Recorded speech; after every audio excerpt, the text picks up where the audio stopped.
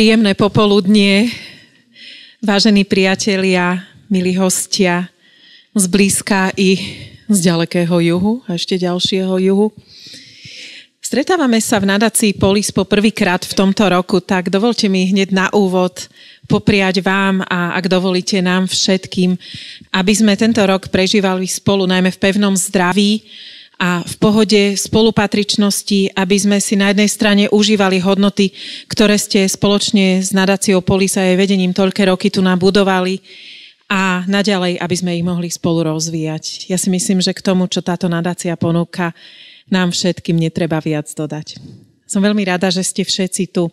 Dovolte pár slov k programu dnešnému, ktorý bude trošku inak štrukturovaný než zvyčajne, keďže sme sa to zišli okrem iného aj preto, aby sme si pozreli film, ktorý je z produkcie Ústavu pamäti národa Stopy v snehu. A hostia, ktorí po jeho odpremietaní a po krátkej prestávke si sadnú do kresiel pre hostí. Upozorním, že tam máme slovník totalizmu, tak, totalitarizmu, tak už ma chytajú tie výrazy, ktoré sme vtedy používali. Takže tie kreslá pre hostí budú patriť publicistovi, šéf-redaktorovi Global magazínu, známej osobe verejnému intelektuálovi Marianovi Balážovi, K nemu sa pridá Patrik Dubovský, riaditeľ sekcie vedeckého výstavu, výskumu Ústavu pamäti národa, pardon. Alois Gabaj, ktorý bol väznený za prenášanie náboženskej literatúry a bola mu udelená pamätná medaila za odpor proti totalitnému režimu. Alois Gabaj je jeden z protagonistov dokumentárneho filmu, ktorý uvidíme uvidíte, čo sa s tým človekom udialo za 33 rokov. Ja som si to teraz počítala.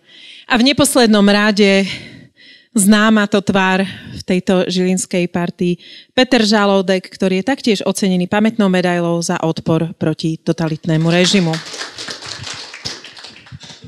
V rámci takéhoto slávnostného novoročného začiatku sezóny máme aj hudobnú vsúku, v podaní slovenskej gospelovej legendy kapucínien Stanley Ondrej Tkáč a Stanley, ktorí potom vystúpia počas, počas debaty v druhej časti.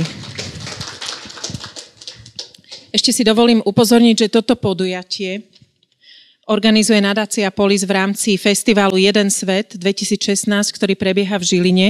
Ďalšie podujatia ešte aj zajtra budú prebiehať na staničke v Zárieči, takže kto by ste mali čas a chuť. No a posledná vec, ako viete, ja som na to predurčená, aby som robila módne prehliadky ak si niekto zabudol minulý rok, čiže v decembri tento šál, tak vás tu počkal do tohto roka, tak nech sa páči. A prípadne, ak sa nikto neprihlási, ja som navrhla, že by sme ho mohli vydražiť. Dobre? Takže všetko dobré, rada vás tu všetkých vidím a prajem nám ešte veľa stretnutí a pekný večer.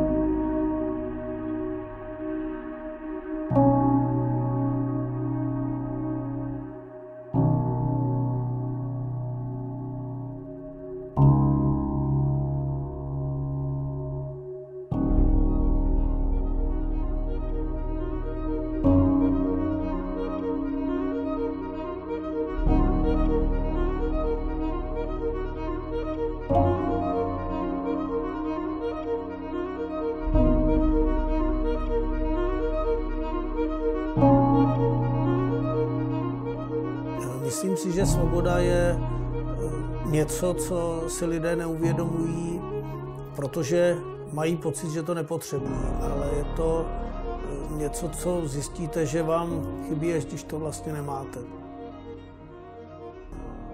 Komunizmus možno bola taká, taká túžba ľudí eh, žiť v rovnosti, slobode a v šťastí, ale žiaľ táto túžba asi bola nereálna a praktické nástroje, ktoré sa použili na jej realizáciu, sa ukázali skôr ako zlé, škodlivé, protiľudské a diktatorské.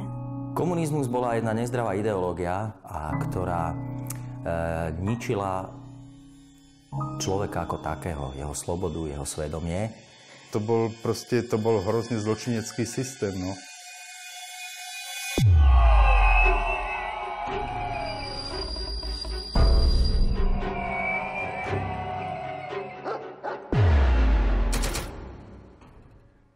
Všetky tie zárodky toho, kde sa rodí nejaká sloboda, nejaký slobodný názor, Eh, tak to oni musia potlačiť, eh, pretože ináč by sa neudržali eh, pri moci. No a, a v komunizmu vadilo náboženstvo v princípe, lebo ľudia tam dokázali byť slobodní. A tým pádom nemali na nich tí moci páni komunisti vplyv. Pán Boh jednoducho vadí, pretože totalitnému režimu ide o ovládanie človeka já jako křesťan eh, a praktikující katolik musím říct, že chápu víru jako cestu člověka, jak být lepším člověkem, jak, jak si na sobě pracovat. A komunisté ty slibovali ten ráj už na zemi, že všichni budeme mít všechno stejné. A samozřejmě komunismus je z podstaty ateistický, takže samozřejmě tu, tu víru vnímal jako něco, co narušuje jeho hegemon moci nad těmi lidmi režim potreboval ľudí nevzdelaných a s takými sa najlepšie manipuluje. Ak režim videl ľudí vzdelaných, tak po tých išli, pretože vedeli, že vzdelaní ľudia sú ich hrozbou. Jedna z tých podstát komunistického režimu bola ideológia. To znamená, ako e, vnútorne získavať človeka na svoju stranu. A to mohla spraviť tým, že zamedzila iné vplyvy. Jedna z tých iných vplyv boli knihy, alebo informácie a tomu bola samozrejme podriadila určité kroky a to bola cenzúra. Mať vplyv na to, či články, knihy, filmy budú publikované v duchu komunistického režimu. A toto bol nástroj, ktorým prakticky obmedzili slobodné šírenie myšlienok. Vznikla hlavní správa tiskového dohledu, která měla na starosti kontrolovat, co bude vysílat rozhlas, později i televize, jaké články budou vycházet v novinách. Redaktor sám špekuloval a bál sa každého náznaku. A to, čo by mu aj cenzúra bola dovolila, proste začal rozmýšľať, môžem v článku zmieniť, ja neviem, Vericha. Radšej to tam nedám. Môžem zmeniť Žila Verného? Ten je už dosť dlho mŕtvý, možno áno. Čiže takto, skutočne takto prebiehalo ten myšlenkový proces v tom komunizme. Za to ľudí nadchýňalo, keď v divadle niekde Lasica Satínsky utrúsili narážku. Dovolte, aby som sa predstavil. Moment, moment, Vincúr. Môžeš. Som docent Vincúr a pracujem v podniku pre skúmanie hĺbkovej psychológie športových hier. A to ma nezaujíma. Čo je to za podnik? Eh, je to podnik pre skúmanie. No tak hej, no tak ale ten podnik je národný. No pochopiteľne. No veď preto, lebo inak. Uvidíš, Moment, prečo zvoní? Veď som nikoho nemenoval. Halo? Šéf redaktor? No vedel, že som... Jaj, ako?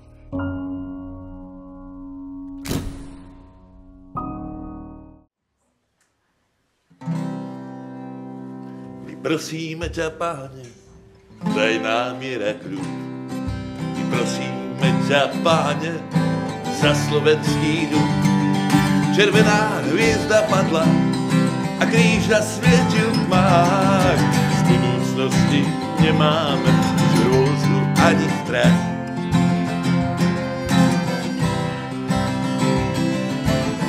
Sviatočný všetný, tvoj chrám sa naplní verný ľud slovenský ti vďaky vysloví.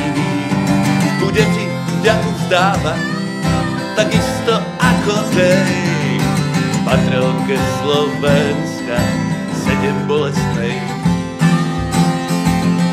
Ty prosíme ťa, páne, daj nám miereku.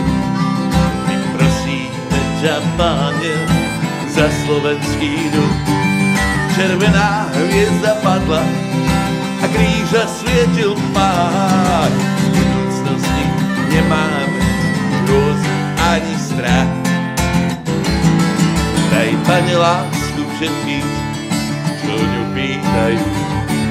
Daj, Pane, pokoj všetkým, čo v duši nemajú.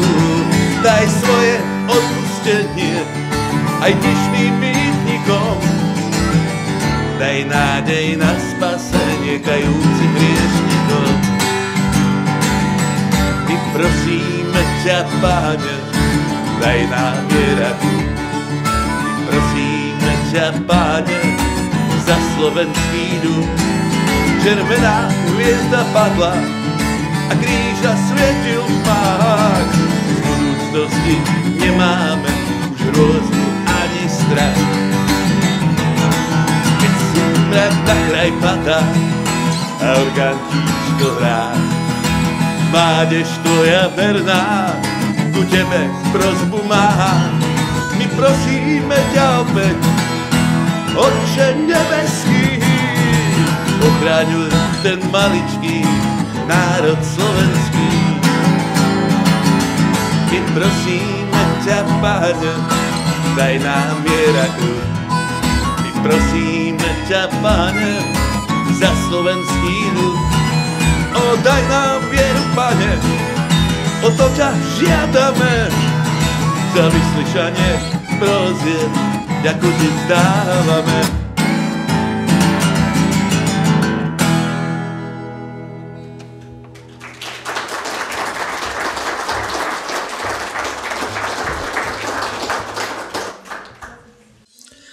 Príjemný podvečer všetkým, ktorí ste si našli čas, chuť prísť sem a spoločne debatovať, rozmýšľať nad obdobím a nad udalosťami, ktoré sme videli vo filme.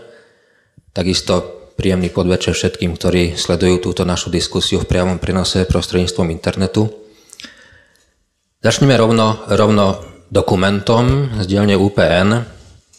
Patrik Dubovský opäť pracuje v UPN e, ako historik a pokiaľ viem, toto bol asi 14. dokument v produkcii alebo koprodukcii Ústavy, Ústavu pamäti národa. E, v produkcii dokumentaristike UPN bola istá pauza, neviem, či to bolo 3 alebo 4 roky, ty to e, môžeš upresniť.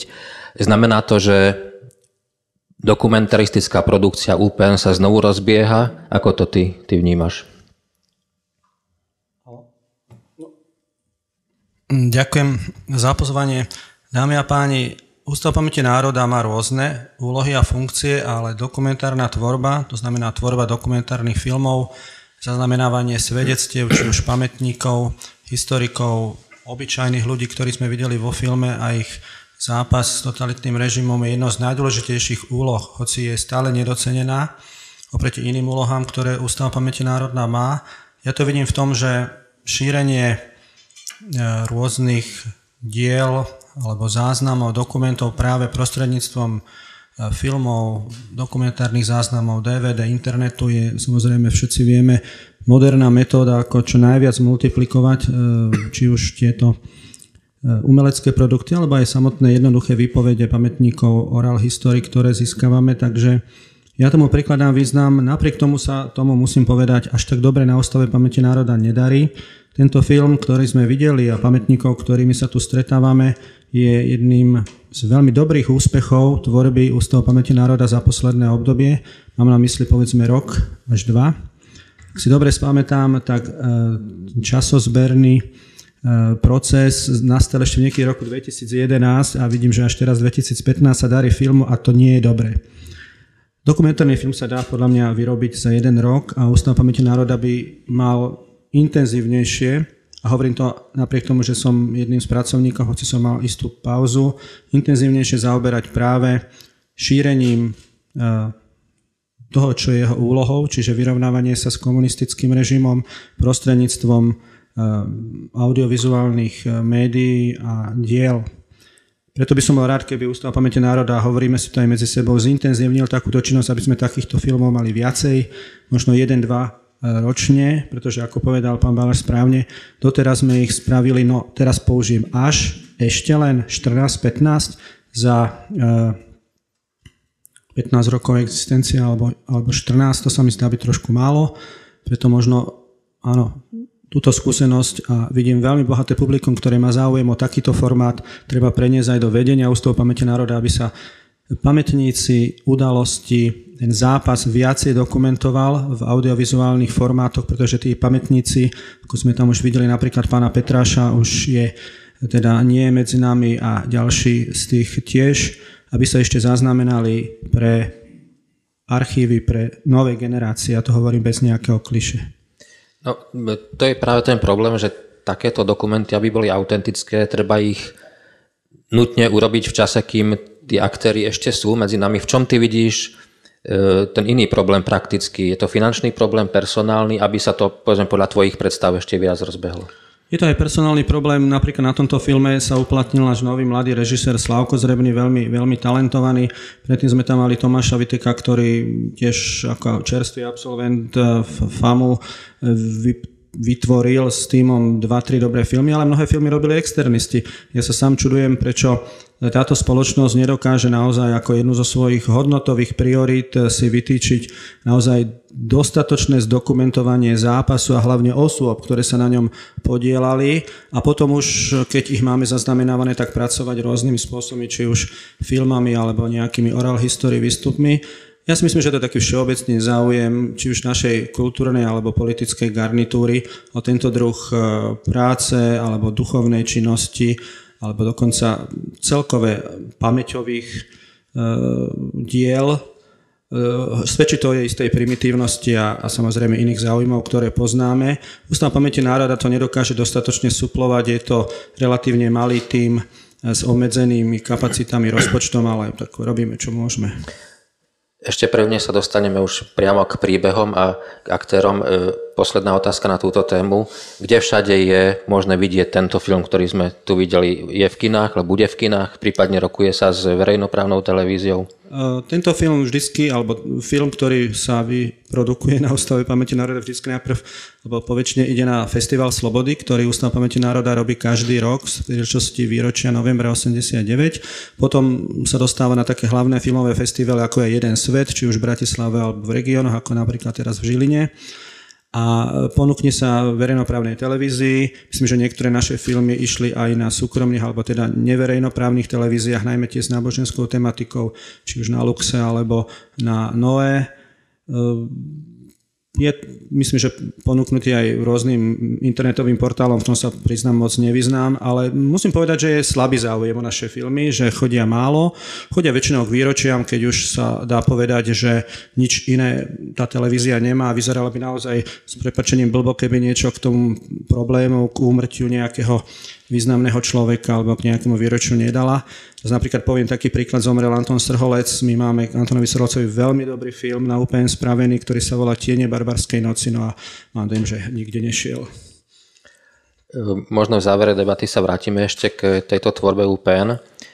Celý ten príbeh e, nazvaný Stopy v snehu, a teraz mám, príbeh, mám na mysli príbeh trojice, ktorá sa stala legendárnou, Konz, Gabaj, Borovský, ktorých si ľahko zapamätáte podľa prvých písmien priezviska GB.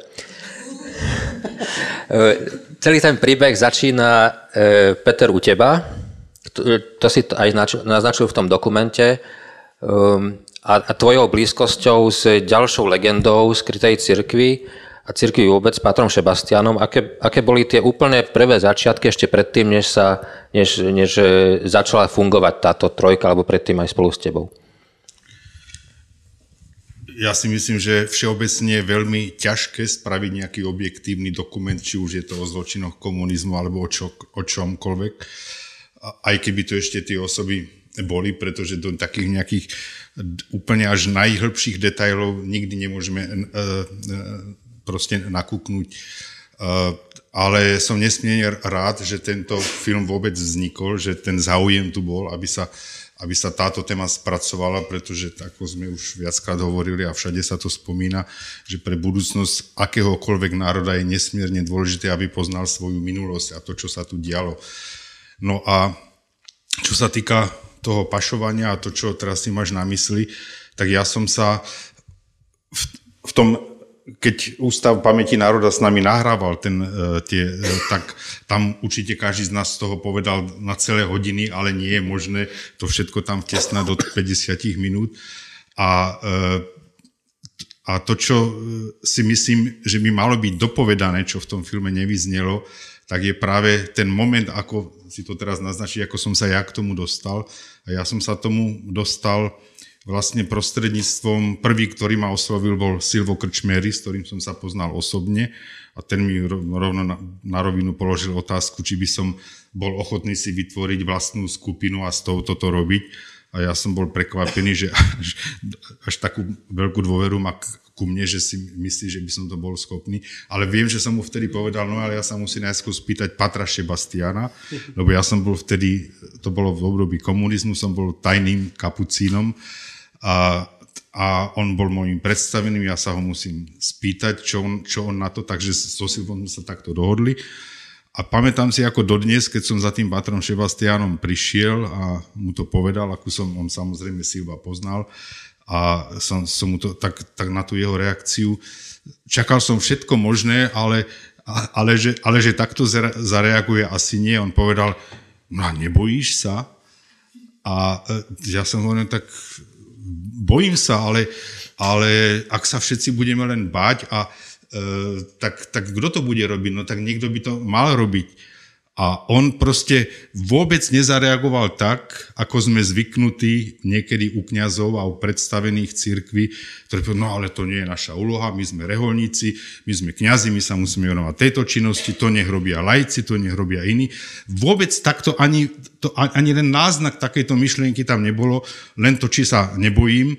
A potom dokonca ešte šiel až tak ďaleko, lebo ten Pater Sebastian, ktorý mal tzv. len polovičný úvezok, nemohol verejne slúžiť omši, ale mohol spovedať. A on bol taký pojem. Za ním chodili snáď celé, celé Slovensko, študenti zo všetkých možných univerzít, ktorí boli v Bratislave.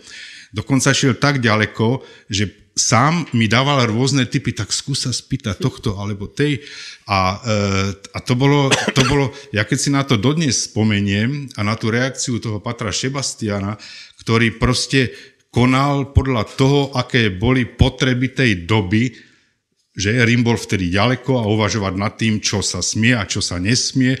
Určite ste o tom počuli, že to boli vtedy v tej skrytej cirkvi biskupovia Davidek, ktorí dokonca svietili ženatých mužov, alebo ktorí dokonca svietili ženy. A, a nikto sa vtedy, vtedy nad tým nejak nepo, nepozastával, to bolo všetko legitímne. Zrazu padla klec, všetko sa skončilo, všetko bolo zakázané, všetko bolo zlé a to je z môjho pohľadu Prepašte, že poviem také slovo, ale ja, kto pozná moje články, tak vie, že som kritický. To je zločin. To je zločin proti slobode, zločin proti skrytej cirkvi, ktorá tu vtedy bojovala, ktorá niesla ten štít, ktorá niesla ten prápor, ktorá sa obetovala. To boli ľudia zo skrytej cirkvi, ktorí boli vo vezení. E, nie tí, ktorí, na, ktorí potom sa dostali. Takže, OK, ja by som mohol hovoriť strašne dlho, ale dajme priestor ďalším. Uh, Alois, ako si sa ty k tomu dostal, respektíve ako e, Peter hovoril, že, že tá prvá otázka e, bola, či sa bojí, či má strach. E, čo boli tie prvé momenty u teba, keď si dostal tú ponuku alebo otázku, či sa k, tej, k takýmto aktivitám pripojíš? Čo bolo prvé, čo ti napadlo? No prvé bolo asi to, že som mal také nadšenie, že teda, že tá ponuka sa nedáva hoci komu, že bola tam určitá dôvera. Neviem, ak, že tam bola teda tá dôvera voči mojej osobe, teda, že som nejaký asi spolahlivý alebo niečo také.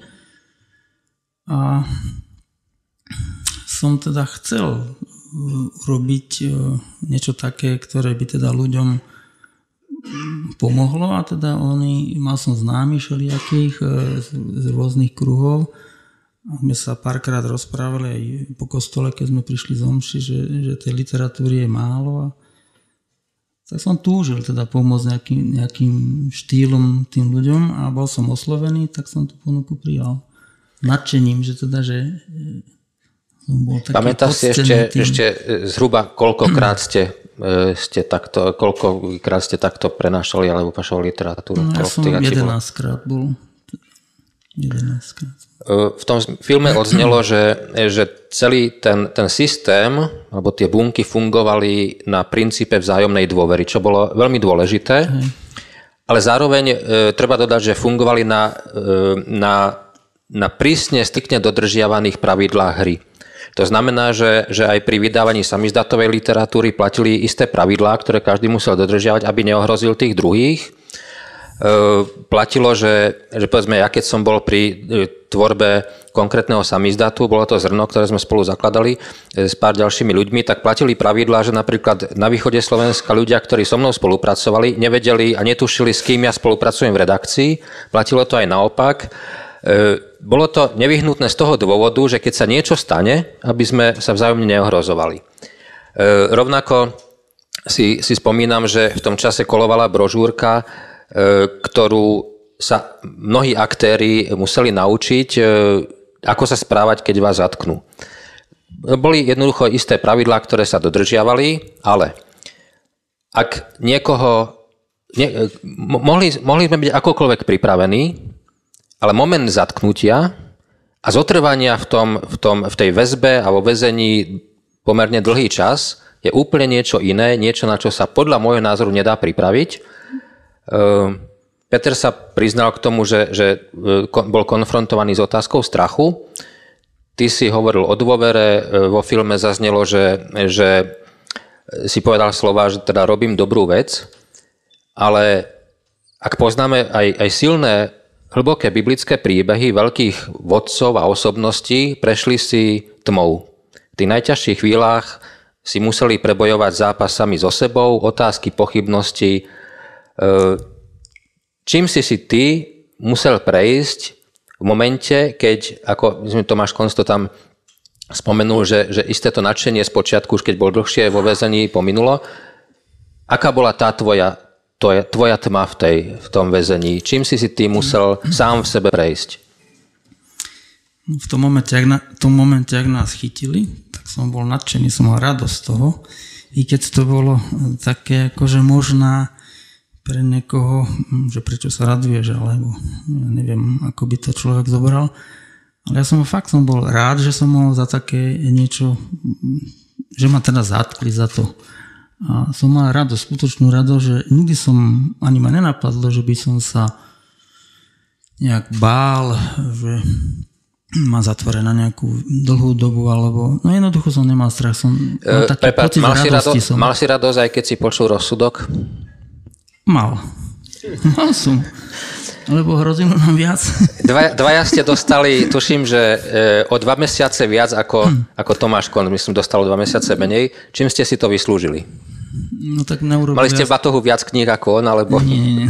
To bolo asi tam, že niekomu museli dať akože organizátor alebo veliteľ skupiny, tak určili mňa, lebo som bol najstarší. Si sa príliš veľa tešil. Um, ja si z tých čias pamätám jednu dôležitú vec, ktorá sa spájala s vašim príbehom.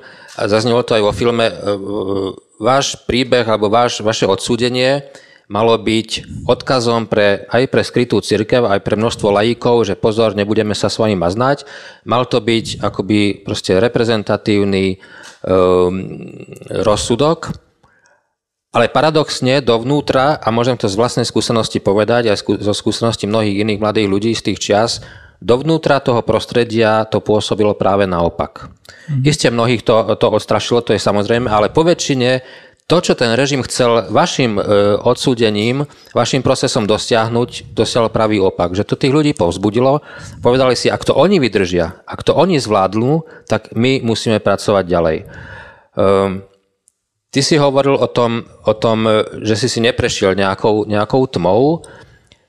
Keď ste potom boli prepustení z väzenia, Stretli ste sa, aké, aké, boli, aké boli tie prvé, prvé okamihy, alebo čo, čo bolo po prepustení? Stretli ste sa, prerozprávali ste si, kto si čím prešiel, aké bolo potom pokračovanie? No, samozrejme, sa stretli potom, po nejakej dobe nehneď. Ako. A my si teda rozprávali tie zážitky, ako sme e, aj duchovne, aj, aj vnútorne prežívali vlastne to zatknutie.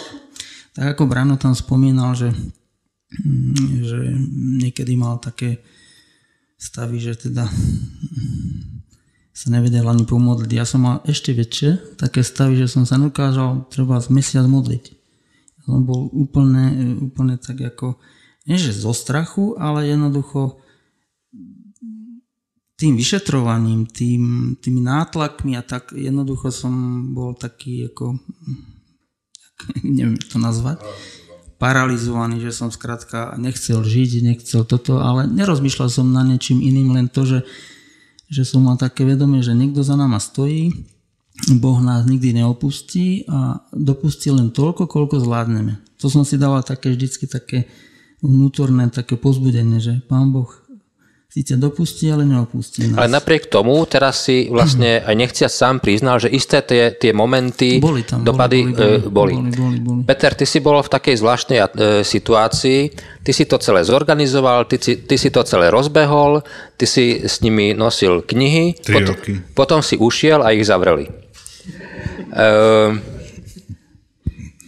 Aké boli, e, ty si to v tom filme naznačil, ale e, skúsme sa k tomu vrátiť, aké boli tie prvé momenty, keď si sa dozvedel, že títo chlapci sú zatknutí a prešiel mesiac, prešiel dva a tí chlapci stále boli kde v Polsku.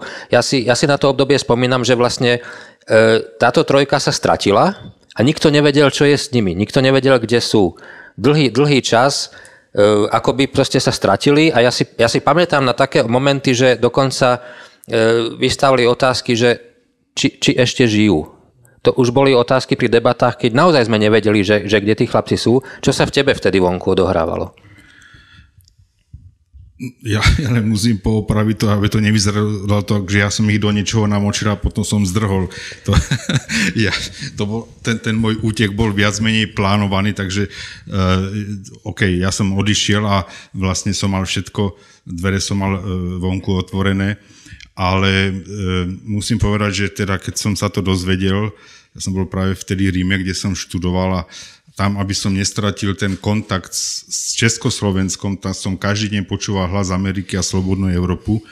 To som si tak proste e, na to vyčlenil čas, no a keď som to počul niekedy v decembri, to, to hlásil, hlásili, tak som myslel, takže tak, no, to bol hrozný, e, hrozný pocit a ja som ten film dneska videl po druhýkrát a keď som ho videl prvýkrát, pri tom, keď sme dostali tú cenu a dneska, tak to je, mne sa to všetko oživí a, a vracia sa mi to, to, je strašne silné, to o tom nedokážem fakt hovoriť, pretože uh, pre mňa to bolo niečo bytostné a ja tu na, s nami sedí Helena Sondejová a to boli ešte iné ženy, ktoré som asi pol roka si testoval tú partu, s ktorou som to potom 3 roky robil a mne nešlo len o to, aby to boli mladí ľudia, aby to boli slobodní ľudia, ktorí nemajú rodiny, ale aby to boli aj ľudia, ktorí sú natchnutí za tú vec, tak jak to povedal Lojsko, že sa proste tešil, alebo jak to bolo v tom filme ukázané o, o tom pánovi, čo, čo sa tešil z toho, že vyšiel do väzenia za to, že pašoval Bibliu pre deti. To bol tak úžasný moment, to ja sa vždy u toho rozplačem. A, e, ale, ale mojou predstavou, keďže som mal tú víziu, čo sa môže stať, vždycky bolo, a Helena to môže potvrdiť, že ja som nechcel, aby tam tie ženy chodili. Že ja som bol zásadný proti tomu. Ja som nechcel, aby sa chodilo v zime. Keď, keď som sa to v tom decembri dozvedel, som si prečo tam išli kurník šopa v tej zime, keď tam ide. Takže ja som, no ale to bolo hrozné, no už sa to stalo, už je to za nami a to už si ja ponesem zo sebou. Proste ja som to cítil ako niečo, že som, uh, že ja som v tom väzení mal byť a nie oni. No. Mal si potom po ich prepustení až do novembra 89 s nimi nejaký kontakt? Nadviazal si s nimi zvonku kontakt? Ja som s nimi bohužiaľ už kontakt mať nemohol, lebo som bol na západe, ale pamätám si, že som raz teda lebo som strašne mi na tom záležalo sa s nimi stretnúť a vidieť, jak to je a že som spravil vtedy veľmi riskantnú vec, to bolo ešte predtým, než padol komunizmus, uh, sa konala nejaká púť v Čenstochovej. A ja som bol vtedy v Ríme, už som mal rakúske občanstvo, ale stejne, ja som tu bol odsudený. A, uh, a vedel som, že tá naša parta, tí kapucini, že tam všetci pôjdu a ja keď som to oznámil tým našim mojim predstavím vo Viedni, že chcem ísť do, tej, do toho Polska, tak všetci, a to neblázniči, že vás tam môžu zatknúť. To bolo ešte predtým, než padol komunizmus. A ja som tam fakt letel, stretol som sa s nimi a to bol taký balzám pre mňa, také, ale teda zo strachom som letel tam aj naspäť do Viedne. No. Uh, Ale tu, tu od Petra zaznelo také, e, že tá jeho prvá reakcia bola, že v zime, keď sú stopy v snehu nechané, prečo sa traja mladí tešiaci sa ľudia e, vydajú v zime v snehu dohovor pašovať knihy, keď je úplne jasné, že tie stopy za sebou nezametiete. Chodievali ste bežne v zime, že bolo to také bezpečné, alebo ste si povedali, že poďme teraz raz a No, nechodevali sme v zime, to bolo asi výnimka, čo si ja pamätám, teda aspoň čo som ja bol. No to asi bola taká mladická nerozvážnosť, no, že sme išli. Vlastne takom snehu bolo asi tak 50 cm snehu, tedy, kde sme boli v tom nížku. Tedy momentálne. Ako to, môžete obidvaja prípadne sa doplniť, ako to, ako to fungovalo? Neboli mobily, nebol internet, jednoducho tá komunikácia bola limitovaná. Ako to fungovalo, že, že v rovnakom čase na to isté miesto pravidelne prichádzali z dvoch strán skupiny ľudí a že proste ten systém fungoval? Tak to fungovalo tak, že a to fungovalo stokrát lepšie, ako keby boli mobily, mobily a, a počítače.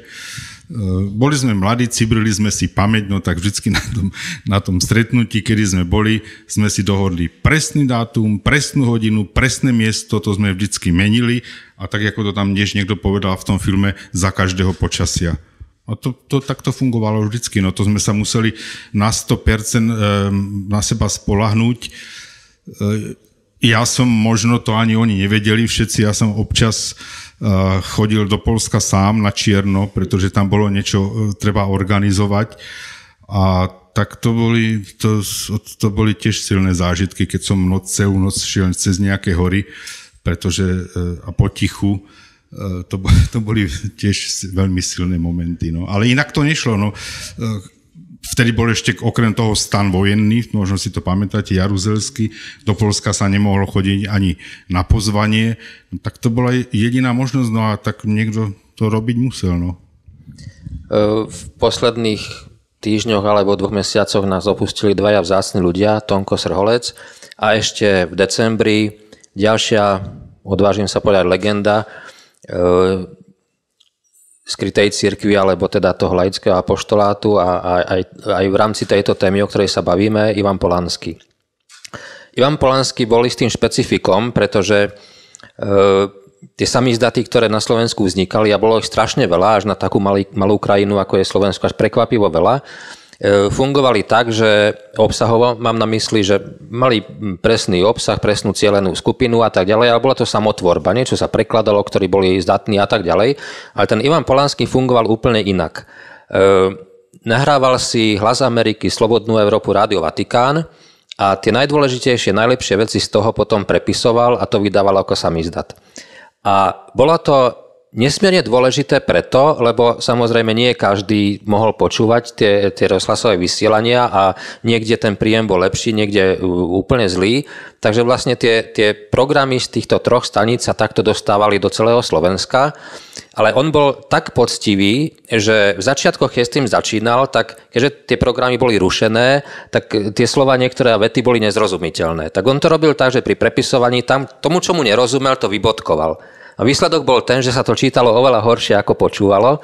Až neskôr, až neskôr to, e, to začal doplňať e, slovami, aby to celé dávalo zmysel. Potom bolo zatknutý. E, Patrik, vieš ty povedať zhruba, že koľko prípadov bolo odhalených alebo koľko zatknutí bolo? Lebo podľa môjho názoru to muselo byť len, len nepatrné množstvo z toho všetkého, čo sa tu dialo. Ty z toho bádania historického, vieš povedať, že asi, asi aký, koľko takých prípadov, prípadov bolo? No, presne to neviem povedať, ale ja mám teda to šťastie, už nepatrím medzi tých úplne najmladších 30 40 že zažil som ešte tú dobu pána Petráša ako tlačiara z okolností z našej obce. U ňom sme sa stretávali, on nám o tom aj čiastočne hovoril, ale aj nehovoril, vzhľadom na tú konšpiráciu, ktorá tu bola spomenutá. Ale niektoré informácie sme už ako mladí ľudia dostávali a potom teda ako e, historik na Ústave pamäti národa som sa do toho viacej ponoril. E, vyšlo aj niekoľko kníh, ktoré mapujú situáciu samizdatov, napríklad tu na od Rudolfa Lesňáka kompletná, ktorú som tu priniesol, alebo aj niektoré vedecké e, zborníky z konferencií, či už na Ružomberskej univerzite o samizdate. Takže táto oblasť je istým spôsobom zmapovaná, keďže to Slovensko je historicky religiózne a už bolo povedané, že prírodzene tých samizdatov najviac bolo v tejto náboženskej alebo cirkevnej oblasti. Vychádzalo niekoľko desiatok, hovorí sa približne 20 až 25, ale aj, aj iné, ktoré boli celočeskoslovenské, alebo ako sme videli, pašovali sa z, zo zahraničia a vychádzali približne v rokoch 73 až teda 89, ale aj nejaké drobné pokusy už po začiatku normalizácie. Takže na prvý pohľad to vyzerá, že to nebol až taký veľký objem, ale na tie pomery perzekúcii štátnej bezpečnosti, ktorá monitorovala, snažila sa ich odhalovať, nemožnosti komunikovať, nemožnosti e, tlačiť.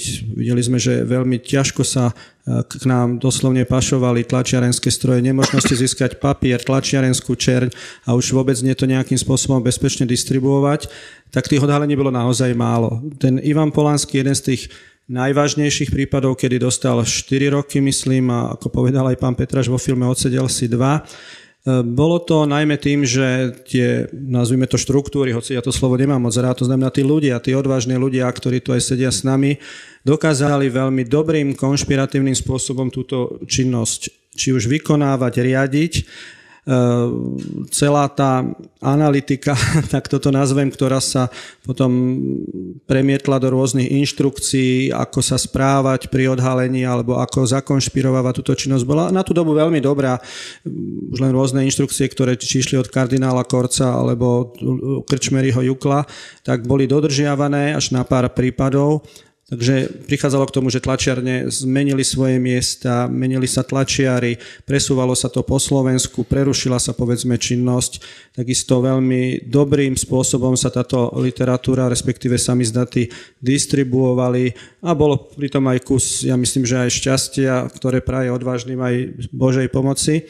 Takže samozrejme necháme reagovať e, aktéra, tak si myslím, že, že ak to bolo aj povedané o tých prenášačov, že pri toľkých kilách a tonách a niekoľko desiatok tých stretnutí na hraniciach a prenášaní, že tam nikoho neobjavili, vaša skupina bola respektíve teda skupina KGB bola naj, e, taký eklaktantnejší prípad a takže áno, súhlasím s tým a bolo, bolo to, je to veľký úspech práve týchto skupín, ktoré majú obrovskú zásluhu na tom, že sa toľko dobrej literatúry a sami za to teda do Sloven- na Slovensko, do Československa preneslo. A dovolím si ešte poznámočku k predchádzajúcemu vstupu, súvisí aj s tým, čo teraz hovoríme. E, keď sa teda rozhodovalo o nejakom vytvorení toho kanála prenášania, a to slovo pašovať nemám veľmi rád, tak sa aj to miesto zhodnotilo a vykonávali to väčšinou tí, tí generáli tajnej cirkvi, či už vládajú ako krčmery a, a podobne. Prejednávalo sa to potom, či to miesto je vhodné, či tá skupina mm, to dokáže a teda. A práve toto miesto, ak si dobre pamätám, nebolo dobre ohodnotené, že je príliš, ja neviem, e, otvorené, že tam tí príslušníci pohraničnej stráže môžu veľmi rýchlo prísť a tak ďalej. Napriek tomu e, sa tam tá činnosť robila a svedčí to teda o tom ľudskom rozmere celej tej práce v tých ťažkých podmienkach, že tí ľudia sa rozhodli predsa len skúsiť tento kanál no a predsa len tá štátna bezpečnosť alebo ten režim v tomto prípade, v prípade týchto troch mladíkov slávil a úvodzovkách úspech. Ja, ja len dve poznámky, aby sa na to ne, nezabudlo, lebo myslím si, že jednak to súvisí s tým a jednak je to dôležité. Tam v tom filme bol spomenutý polský kňaz Stašek Lugovský, Možno niektorí z vás ho poznajú, on je dneska farárom v Trenčianských tepliciach, alebo v Trenčianskej teplej, v Trenčianských tepliciach.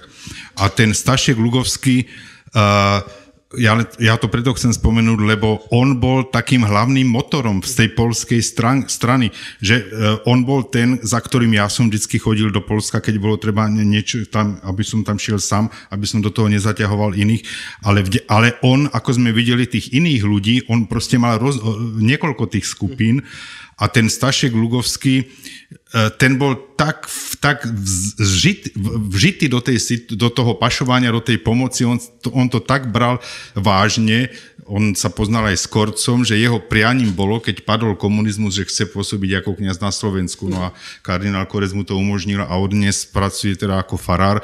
Tak to by som len chcel povedať ako, ako poďakovanie, že vďaka tomuto Poliakovi, ale ešte aj mnohým iným sa to dialo. To je jedna vec. A druhá vec, aby sme na to nezabudli, v tom filme bolo spomenuté, že tie knihy sa pašovali tiež cez Maďarsko. A ja musím teraz vyspovedať aj teba, ja viem, že ty si sa na tom tiež podielal a že ti šlo tiež o život, tak prosím povedz nám aj ty niečo, aby to nebolo tak, že len my, ale aj ty si, aj ty si mohol sedieť v base. Tak mohol som, ale nesedel som. um, Áno, v tom filme, filme zaznelo, že knihy sa pašovali po väčšine z Polska, asi gro určite áno. E, a odtiaľ sa nosili knihy a, a literatúra, ďalšie publikácie v Batohu a cez hory. No, e, pravda je taká, že, že obrovské množstvo kníh na Slovensko sa dostávalo aj z Maďarska. E, bolo niekoľko skladov v Maďarsku, jeden veľký sklad bol v Budapešti na asi dvoch, troch miestach a potom ďalšie sklady boli, to odznelo v tú nedaleko Bratislavy. E, a druhý sklad bol, bol blízko hraníc e, pri Košiciach, teraz z maďarskej strany v jednej dedinke.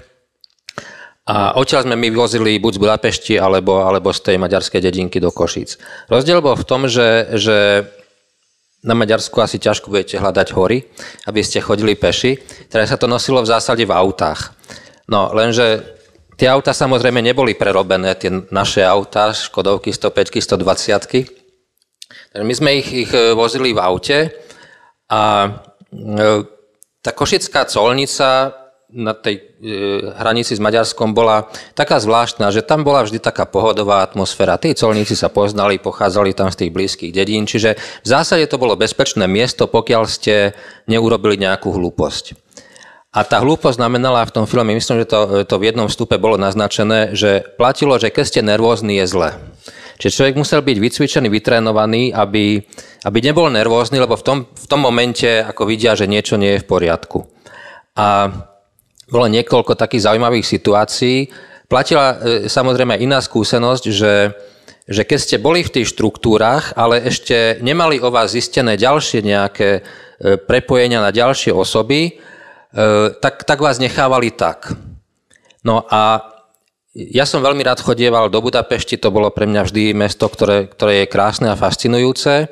Chodieval som do aj iných miest, takže ja som urobil to, že okrem tých príležitostí, keď som vozil knihy, tak som chodil pravidelne len tak na prázdno, aby som v tom pase mal čo najviac pečiatok. Potom, keď som prišiel s knihami, tak už jednak, že ma tam videli a už to nebolo až také. A e, po druhé, keď, e, keď som robil aj so samizdatmi, tak keďže som vedel, že už som sledovaný, ale som vedel, že sa až tak veľmi ďaleko v tých ďalších prepojeniach nedostali, tak som vedel, že istý čas ma ešte nechajú. Ale jedna skúsenosť bola naozaj veľmi hraničná. E, bolo to, bola to jedna cesta, pri ktorej sme mali dohodnutého jedného colníka na hranici. A dodnes si to pamätám, dohoda bola, o 7 sa mení, mení služba, 5 minút pred 7 pár minút proste prídete tam, solník otvorí kufor, princíp je v kufri, aby, aby vám z kufra nevypadli knihy. Môžete ich mať kdekoľvek. A tí colníci sa medzi sebou poznali, takže tam to prebiehalo tak, že keď skontroloval to maďar, maďarský colník, Slovák už len dal pečiatku, alebo naopak. No a my sme to využili, my sme tu 105 alebo 120, už neviem, naložili kompletne plnú. Naložili sme aj do motora knihy, čo bolo umenie a dodnes nechápem, ako, ako sa to podarilo. A v kufri sme mali tak, že keď sa otvorí kufor, aby naozaj to tam nebolo až také okaté. No, a čo sa stalo? Niekoľkokrát som hovoril, chlapci, už poďme, lebo 7 hodín sa blíži. A my keď tam prídeme minútu po 7, tak sme všetci v háji. Prichádzame k colnici, 5 minút po 7. A stalo sa to preto, lebo, lebo sme mali problém upevniť v motore tie knihy. Z ďalky, ako prichádzame k colnici, hovorím kamarátovi, ktorý mal toho colníka dohodnutého, ten colník, ktorý práve odchádza z colnice do budovy, to je ten, ktorý nás mal čakať? Áno. Bolo zle. Auto už je na colnici, jediné auto na celom, v celom priestore, ktoré tam bolo, plné kníh. Ešte aj vzadu, sme boli piati v aute, Eh, lebo dvaja ešte mali plné ruksaky, tak hovorím, viete čo, buď zavrú všetkých, alebo niekoho dvaja choďte a pôjdete peši cez, cez colnicu, môže sa stať zázrak, že aspoň niekoho pustia. Prišla nová smena, neviem z akého dôvodu, tým dvom, ktorí stali plný, plné batohy kníh, dali pečiatky odchod do videnia. Fajn, dvaja sú už doma. Čo s nami? Prišiel colník a ak ste mali niektorí 120 105 tak tam je celkom šikovný priestor pod prednými sedadlami, ktorý sme mali naplnený knihami. A v tých starých autách tí colníci to vedeli, že keď sa niečo pašovalo, tak, tak za zadnými sedadlami. To sa pravidelne otváralo, takže to tam bolo treba nejak... E, ale pre nás to v tej chvíli neplatilo, lebo dohoda bola taká, aká bola, ale tá padla, lebo sme meškali. A ten colník prichádzal pri aute, že otvorte kufor, otvorte zadné sedadla. Mňa zalial pot. V tej chvíli som mal taký strach, ako nikdy v živote. Bo som vedel, že to je koniec. Proste to je na basu a bolo tam aj jedno dievča. U nás neplatila taká dohoda, že dievčatá nie. Ale ja som si v tej chvíli bol istý, že to je, to je väzenie, že to je basa a to bolo zlé. Naozaj som mal obrovský strach a nikdy v živote mi ten čas neplynul tak pomaly ako vtedy. Hoci ten čas bol objektívne krátky, ale to bolo nekonečné. Stalo sa to, že odrazu z ničoho nič sa spod predného sedadla vysunuli knihy pred jeho zrakom neviem, čo je horšie. Ten colník, e, to bol, to bol maďarský colník a pri ňom bol slovenský. Pozerá sa na tie knihy a boli to detské Biblie. Tie detské Biblie to sú asi, boli prekliatie alebo požehnaním, neviem.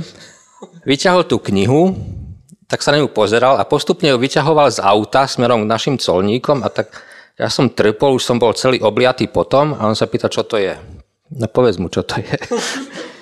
Eh, ja už neviem, čo všetkom som tam táral, až došlo k situácii, že natoľko znervoznel, že povedal, zmiznite, vypadnite, chodte. To bol príbeh, pri ktorom, keď sme išli nejakých 500 metrov za solnicu, my sme zastali a sme tam asi 10 minút stáli a mlčky a ticho a proste zo mňa sa lialo. Vybrali sme potom knihy z, z motora a tak ďalej, ale to bol zážitok, pri ktorom som mal strach ako nikdy predtým a, a neskončil som v base. A po tomto zážitku som mal mnohonásobne väčšiu úctu k ľuďom, ktorí sa pre mňa stali ikonami, legendami, keď som si uvedomil, čím všetkým si museli prejsť, hoci všetci sme boli cvičení v rámci možností a trénovaní na takéto okamihy. E, v tom filme zaznelo, že v 50. rokoch bolo zlikvidovaných 27,5 milióna kníh. Treba povedať, že druhá vlna likvidácie kníh bola v 70. rokoch, keď sa pálili aj učebnice a, a mnohé ďalšie knihy.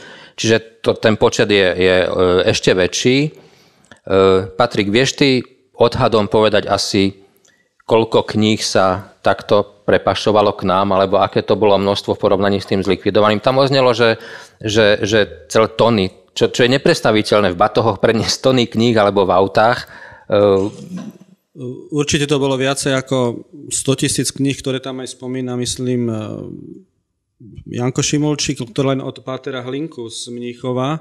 Ďalej tam boli spomínané tie americké vydavateľstva 68 Publishers, No nie je to asi ešte spočítané, nikdy som sa s tým údajom nestretol, ale keby sme spočítali všetky, či už to bol Slovenský ústav Svetého Cyrila metóda v Ríme, tie, ktoré som spomínal, muselo to ísť do desiatok tisíc, možno viac ako 200 tisíc, ale to teraz len naozaj e, skúšam si zrátať e, tie vydavateľstva, ktoré tie knihy k nám, tie hlavné vydavateľstva e, dostávali.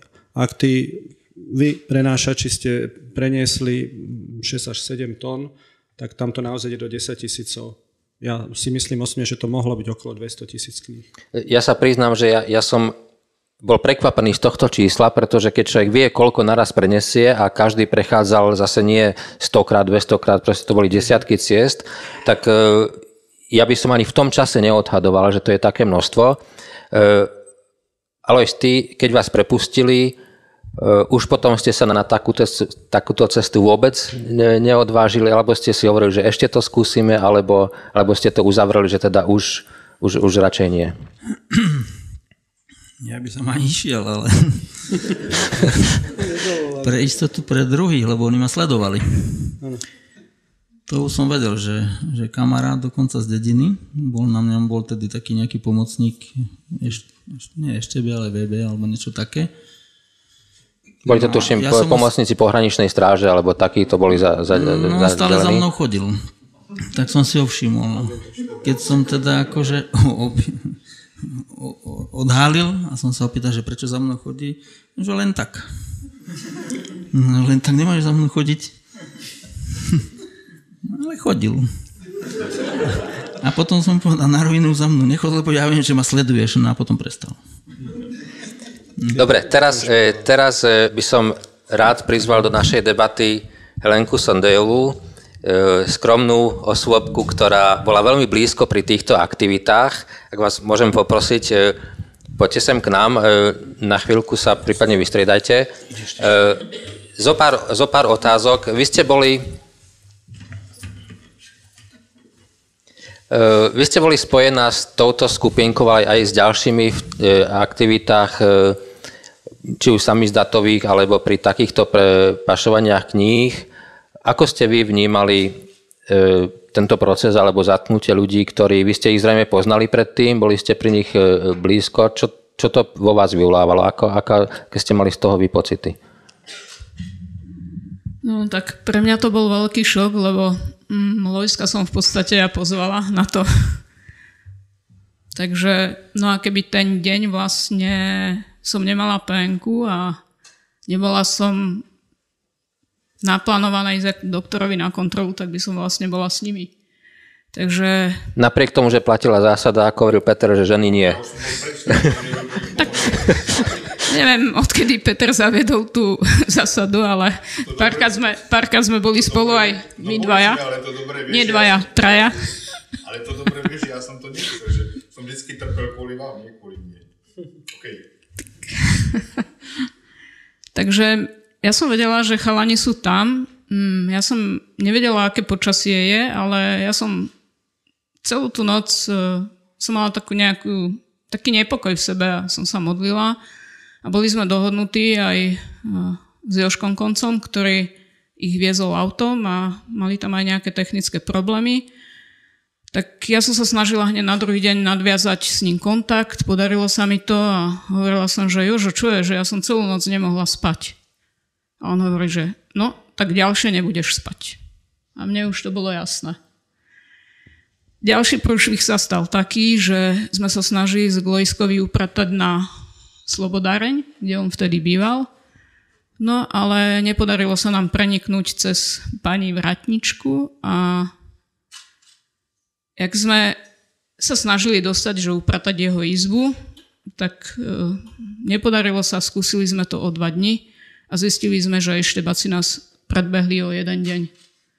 A tam boli všetky fotky z okolností z mojich promocií, takže oni tam mali kopec ľudí a teraz my sme sa snažili nadviazať ďalej s tými ľuďmi kontakt, aby boli upozornení na to, že čo sa stalo, aby teda E, vedeli, že nikoho nepoznajú a to bola náhoda, teda ja sa poznám s Lojskom a tým pádom to haslo ostatných nepoznajú a proste poznajú iba mňa.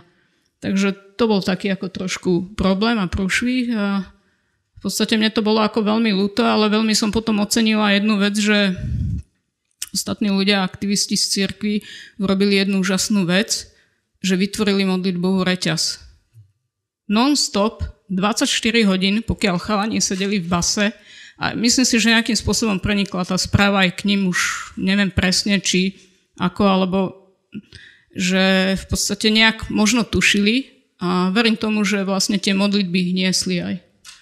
Potom ja som mala problémy v robote, lebo samozrejme, že policajti začali javiť záujem, všelijaké ponuky, výhražky, až neviem, od postu, nejakého postupu, až po to, že ma zrazí náhodne auto a podobne. Tak som stratila nejak zamestnanie, čož mi nevadilo až tak. Začal som robiť poštárku a bolo zaujímavé, že ja som dostala do, rajon, do rajonu vlastne väznicu, kde potom aj Lojsko sedel určitú dobu v Mlínskej doline. ja striedím listy a že Lojzo Gabaj. A teraz, že čo, zlikvidovať to, prečítať si to, alebo čo s tým urobiť. Takže proste ma to nejak ako sprevádzalo ďalej. Ja som spomínal, že ten ich, ich proces mal byť exemplárny a ostrašujúci a dlhý čas sa vlastne nevedelo, čo je s nimi. E, kedy ste mali vy prvé informácie o, o, o nich, že kde sú a čo je s nimi? Okrem toho, že samozrejme sa vedelo, že, že boli zatknutí, ale... Tieto informácie sme mali vďaka vlastne Joškovi Koncovi, lebo on tam mal rodného brata. Čiže oni museli nejakým spôsobom uvedomiť rodičov, No a potom zrejme aj vďaka ním sa nejak podarilo, že to išlo ďalej von ako na hlas Ameriky a slobodnú Európu. Boli ste blízko aj pri, pri aktivitách samizdatovej literatúry. Um, ak si teraz spätne na to obdobie spomeniete, aké spomienky to, je to obligátna otázka, ja viem, a veľmi naivná, ale aké spomienky to vy vás, vo vás vyvoláva? Ehm, je to príjemný pocit, že, že bolo to fajn obdobie, v ktorom sme urobili to, čo sme vedeli a mohli a vládali? Alebo je to, vnímate to aj ako isté, ako obdobie s istým odkazom pre dnešok? No myslím si, že je tam aj odkaz pre dnešok. Tiež môžem povedať, že nikdy som neutovala, že som to robila, keby tá výzva prišla znovu. Samozrejme teraz už tak nevládzem, ale mala by som snahu sa do toho zapojiť. A tá výzva pre dnešok tam je, pretože e, knihy a zvlášť Biblia má neoceniteľnú hodnotu a to tu nebolo a tí ľudia boli tužili potom, boli hladní potom a bolo treba, aby to tu bolo. Takže taký odkaz, že treba si vážiť aj to písané slovo, nielen hovorené a možno dneska už e, ľudia si nevedia vážiť a je to presne o tom, že kúpim si knihu a založím ju do knižnice, že však niekedy si ju prečítam a vtedy sa knihy, dobré knihy drali vlastne. Oni sa, boli vyšuchané strany a Niekedy sa stalo, že aj keď tú knihu človek pustil ďalej, eh, že sa jednoducho niekedy nevratila. Tak ako pán Boh zaplať, nech to pomôže iným. Eh, my, ktorí sme boli viac alebo menej aktérmi takýchto, takýchto príbehov, tak to naše vlastné spomínanie je takým príjemným spomínaním. Eh, určite aj, aj, aj spomínam na, na nepríjemné udalosti, je, je v tom istá príjemnosť toho hľadiska, že, že človek sa zapojil do niečoho zmysluplného, eh, môže sa na, ten, na to obdobie svojho života pozrieť späť s čistým štítom a s istou e, prirodzenou hrdosťou. Um, je to ale všetko? Mám na mysli, má byť spomínanie len kvôli spomínaniu, lebo často sa hovorí, že, že ak nepoznáme svoju vlastnú históriu, tak aká bude naša budúcnosť, alebo že opakujeme chyby. Ehm, tu sa potom naskytá mnoho otázok. Je sloboda samozrejma? Ehm, sú tie stopy v snehu len stopami v snehu, alebo sú stopami, ktoré pokračujú tu aj tu a teraz? Ako to vidí historik? Tak keďže som historik, tak asi by mala byť moja odpoveď pozitívna, hoci ja sa považujem za skeptického historika ale e, asi cítim, na čo, na čo narážaš, Marian. E, k tomu určite inteligentná spoločnosť vytvára rôzne nástroje, veľmi, veľmi rado hovorí, ale ja si myslím, že by to malo byť niečo prirodzené, čo v kultúrnej alebo duchovnej spoločnosti existuje, že tým, že sa menia generácie, že sa posúvame e, vo svojom živote a zomierame. A boli by sme radi, keby tieto skúsenosti, ktoré tí ľudia majú, aby sa tá odvaha alebo ten zápas istým spôsobom aj e, zhmotnil e, pre ďalšie generácie alebo pre tých, ktorí by v tom hľadali istú inšpiráciu, či už pre duchovnú prácu, politickú prácu, mediálnu prácu, že by, že by mala jedna kultivovaná spoločnosť a jedna, jeden, jeden demokratický štát e, umožniť, respektíve podporovať prirodzene, aby sa zachytávali výpovede pamätníkov, aby sa dokumentovali tieto miesta, všetky artefakty od ruksakov, ktorých ste to nosili, cez tie staré prerobené škodovky, e, tlačiarenské stroje, aby z toho vznikali e, veľmi, veľmi hodnotné umelecké e, miesta, ktoré by ľudia mohli vidieť či už osobne, alebo v dokumentoch, alebo v literatúre. Takže to, o čom sa v modernej dobe hovorí ako o istých pamäťových inštitúciách, nástrojoch, o kultivovaní pamäte. Ty si o tom napísal knihu. Pápež Jan Pavel II napísal knihu a píšu ďalší o, o význame pamäte, či už kultúrnej pamäte alebo morálnej pamäte, tak toto by sa malo v jednom slušnom štáte pestovať. Ja mám zase obavu ako skeptik, že, že sa to robí u nás málo, nedostatočne málo sa to dostáva do literatúry, písané slovo začína postihovať inflácia, preto s istou nádejou ja pozerám na multimediálne, internetové DVD nosiče, ktoré by to mohli novej generácii sprostredkovať. A asi tým spôsobom sa dopracujeme k tomu, že udržíme v spoločnosti pestovanie istých hodnôt, istú kultúru hodnôt. Ak teda ešte môžem dokončiť niečo, čo už dlhšiu dobu e, sa tým v podstate v diskusiách zaoberáme. Hovorilo sa tu o slobode, o zneužívaní slobody, o nepochopení slobody a potom na to sa nadvezuje o vnútornej slobode, hovorí o tom Strholec, hovoria o tom aj protagonisti tohto filmu. Rozmýšľal som nad tým osobne. Myslím si, že vnútorná sloboda je veľká hodnota, ale väčšou hodnotou je pravda. Ak človek a mnohé skupiny ľudí, mnohí jednotlivci, ako s nimi hovoríme, nielen ja, ale vy všetci, akoby rôzne kategórie pravdy vo svojom živote žili a potom ich slobodne šírili, prežívali, užívali si a tam už vidím istú degeneráciu. Takže sloboda je veľká hodnota, ale myslím si, že pravda je základná hodnota, z ktorej sa aj sloboda odvíja, už len tým biblickým, že spoznáte pravdu, že od nej sa odpichujeme a tá vás oslobodí.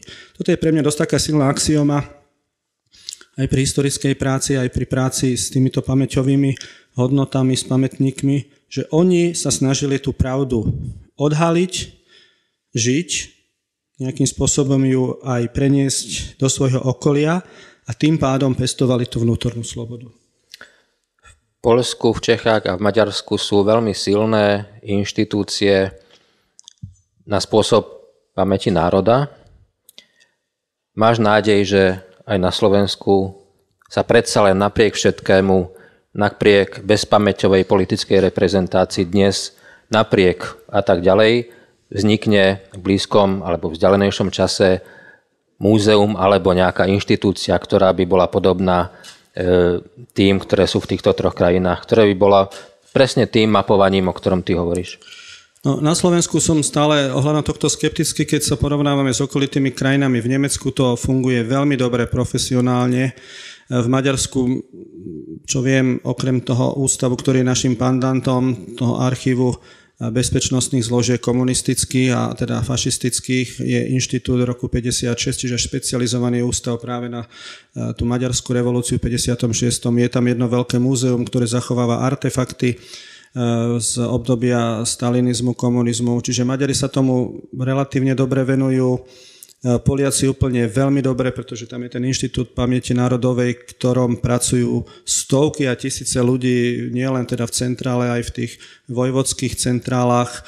V Čechách je to pomerne na dobrej úrovni, napriek tomu, že tam tá politická debata dlho trvala, kým sa vyprofiloval súčasný ústav pro studium totalitných režimu, ale napriek tomu, tým, že teda Samozrejme, všetká dokumentácia skoro zostala v Prahe z archívov, či už štátnej bezpečnosti komunistickej strany, tak majú dobrú materiálovú základňu a ten výskum sa tam rozvíja relatívne dobre a nezávisle. Slovensko je takou popoluškou, a ja si myslím, že aj tým, a treba to povedať na plnú pusu, že v politických garnitúrach na malé výnimky od roku 89 stále boli exponenti bývalého režimu, či už komunistickej strany alebo štátnej bezpečnosti, ktorí síce, ako povedal jeden nemenovaný podpredseda parlamentu, musíme to robiť kvôli Európe, ale budú tieto veci hatiť, mystifikovať, brzdiť, takže na Slovensku som skeptický, nechajú to plávať len kvôli imidžu, ale veľa sa u nás neurobí. Naše archívy sú e, dosť e, vybrakované, vyskartované počas tých Lorencových e, skartácií a vrcholom pre mňa je súčasný stav, kedy nám zomierajú politickí väzni s minimálnymi dôchodkami, bez spoločenského uznania, bez lekárskej starostlivosti, bez istého honoru. Napriek tomu bývalí príslušníci štátnej bezpečnosti si stále poberajú svoje niekoľko sto a tisíc eurové vysluhové dôchodky ako bývalí regulérni pracovníci ministerstva vnútra, čo je pre mňa absolútny škandál a, a hrôza. A ako perličku k celej tejto debate poviem jeden z mojich posledných rozhovorov, kedy som mal možnosť hovoriť s predsedom parlamentu, pánom Pelegrínim pri príležitosti 17.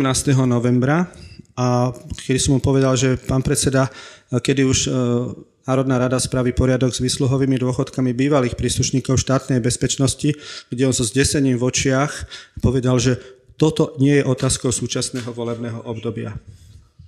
Bol, dal návrh jeden, proste jeden z bývalých petepákov, poznám ho osobne, do parlamentu. Zmietli to zo stola Na čo by rozhodovali o bývalých väzňoch, ktorí už je tu len pár, ale pani Eštebácia, tí majú čo skoro sa dostaneme, aj, dostaneme sa aj k diskusii, aby sme vzájomne diskutovali. E, minulý rok som, som si niekoľkokrát prešiel v Berlíne obrovské množstvo miest, ktoré sú takto v úvodzovkách, poviem, pamäťové miesta, či už e, Múzeum holokaustu, alebo potom aj mnohé miesta, kde sú ponechané zvyšky berlínskeho múra, alebo symbolicky, alebo aj fyzicky. A čo ma na tom najviac prekvapilo, bolo to, že na všetkých týchto miestach boli davy mladých ľudí. To som vôbec nečakal, som myslel, že keď tam na niekoho natrafím, že to budú starší ľudia. Práve naopak. To boli zástupy mladých ľudí, či bolo zlé počasie, či dobré, či zima, či leto, prúdili tam davy mladých ľudí. To bol pre mňa šok. E, keď sa, keď sa prejdete po Bratislave a, a nezajdete cieľene pod Devín, kde, kde sú tie pamäťové miesta, tak v centre Bratislavy natrafíte vedľa námestia Slobody na sochu zakladateľa komunistickej strany. Vidíte nahradný kopec pred e, parlament slobodnej krajiny, pred ktorým stojí socha exponovaného komunistického sochára. Proste tento hodnotový mix, hodnotový chaos je akoby zástupným modelom celého hodnotového chaosu v tejto slobode, ktorú žijeme a tých 25 rokov slobody a demokracie ukázalo, aká je krehká tá naša sloboda a aká zraniteľná je demokracia. Ty, Peter, si hovoril o niečom, o jave, ktorý si nazval zločinom v úvodzovkách na skrytej cirkvi, ako vníma tú našu slobodu spoza hraníc človek, ktorý sa zapojil do takýchto aktivít, o ktorých sme sa bavili, emigroval, e, žil vonku Určite sa tešil z tej slobody, ktorá nastala tu. Ako to ty vnímaš spoza hraníc, to formovanie príbehu slobody, ktoré, ktoré sa u nás deje, alebo ktorým si prechádzame? Ja bohužiaľ nemám také talenty, ako mal Karel Kryl, ktorého som miloval a obdivoval, ale keby som mal, mal také talenty, že by som vedel skladať také texty a nesmierne teda vizionárske a nádherné a tak by som asi už bol mŕtvý. O ňom sa hovorí, že um, umrel vlastne e, že mu zlyhalo srdce z toho, že videl, že vlastne to, čo sa tu zmenilo, že to sa zmenilo nejaký povrch, ale že sa vôbec nešlo do podstaty. Teraz nedávno sme mali vo Viedni, ja som tam členom takého literárneho krúžku a dvakrát do roka e, čítame texty, to, ten náš pán režisér vždy vybere texty nejakého autora a tentokrát sme čítali texty Karla Čapka. A e, ako viete, bratia Čapkovci, jeden Karel Čapek zomrel v roku 1938 a Jozef, jeho brat, e, musel do koncentráku, ani sa presne nevie, kedy a, a kde zomrel. A títo dvaja velikáni českého národa, môžeme povedať československého, eh, ale hlavne teda českého národa, eh, už roky predtým, než vlastne sa eh, Hitler dostal k moci, než došla okupácia, varovali a upozorňovali na to, čo sa môže stať. Stali sa nepohodlnými a boli to vlastne, stali sa takými akoby nemými prorokmi a oni v tých, uh, aby som sa nezamotal, tak uh, proste, uh, aby som toto zjednodušil, z môjho pohľadu, keďže už žijem väčšinu života na tom tzv. západe, tak sa dívam veľmi kriticky na to, čo sa deje v tých bývalých postkomunistických krajinách a v tých textoch, ktoré píšem, to, to často spomínam. Spomeniem len, len jednu vec. Angela Merkel, Češi a skoro aj Slováci vďaka Ficovi a Zemanovi by ju prekliali a poslali do 7. neba. A renomované časopisy ako je Times alebo Die Presse alebo uh, Profil, to je taký týždenník veľmi kvalitný, seriózny, ju označili za osobnosť roka. Okrem iného práve za to, čo si ty spomínal, čo si videl v tom Berlíne, že e, Angela Merkel predstavuje takú krajinu, ktorá ako žiadna iná neurobila taký pokrok pozitívnemu ako práve Nemci, tým ako sa vysporiadali s tým fašizmom, že to bola krajina, ktorá proste kedysi, kde bol ten najkrutejší zločin a ako sa chovajú dnes. Ale tu, eh, ja som teraz napísal článok ešte dneska cestou, sa mi písali pár ľudia, vyšlo to vo videnských svobodných uh, list, liste, kde vlastne je vzdávam hold tej Angele Merkel a už, mi, už teraz mi píšu ľudia, no a ty si nejakej podivín, že, že, že ji obdivuješ.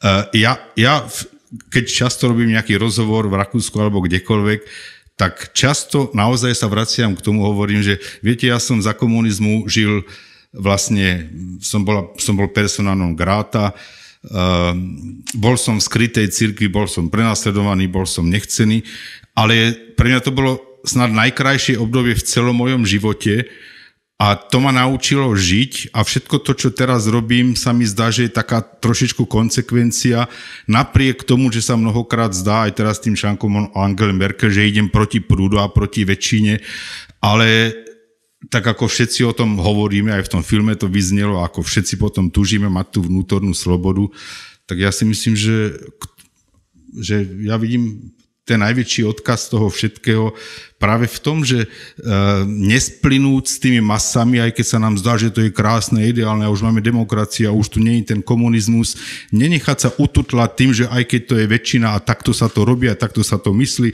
aj keď v tej cirkvi už to je tak, máme tu pána Zvolenského a inú celú, celú, celú, celú e, garnitúru, ktorá sa zachovala tak zbabelo voči Bezákovi, voči Srholcovi, že ani e, pr- OK, radšej pôjdem proti prúdu, kľudne sám, kľudne ma upalte, ale tú vnútornú slobodu si zobrať nedám.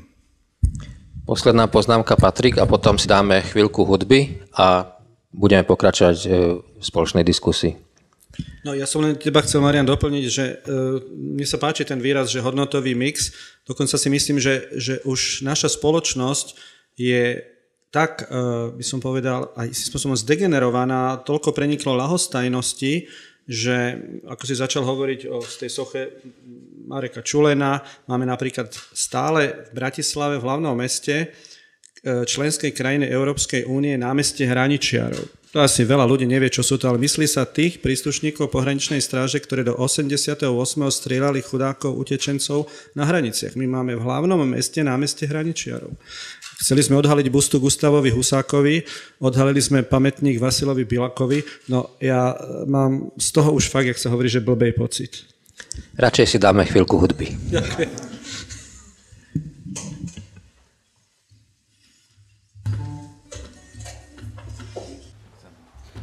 Táto pieseň vlastne vznikla tiež v časoch komunizmu a uh, je to veci, ktoré, uh, ktoré, nás, uh, ktoré nám pomáhali vlastne naplňať aj ten život, ktorý sme, aj tých, tých mladých ľudí, tie knižky, písmo svete, tak vlastne sa prejavili potom aj do tých, do tých túžeb, ktoré sme teraz tejto piesne chceli priniesť.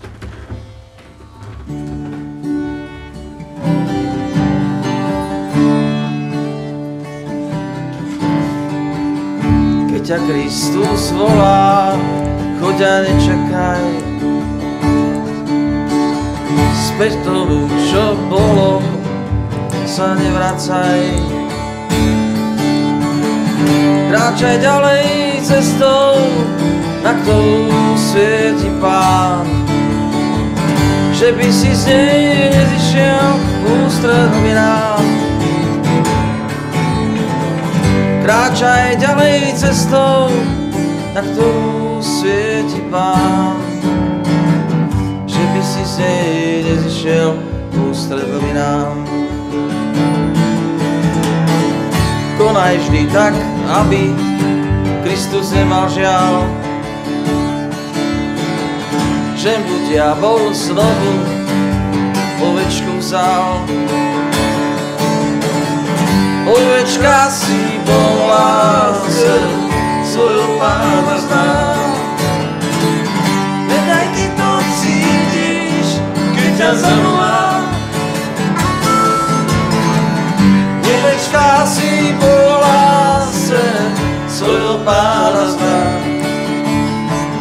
Vydaj ty to cítiš, keď ťa zavolá. Ak však chceš byť podaný, máš ty z toho radosť,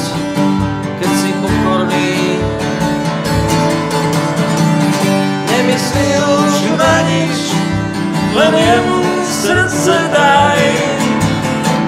Láskou nekonečnou odmení ťa tvoj pán.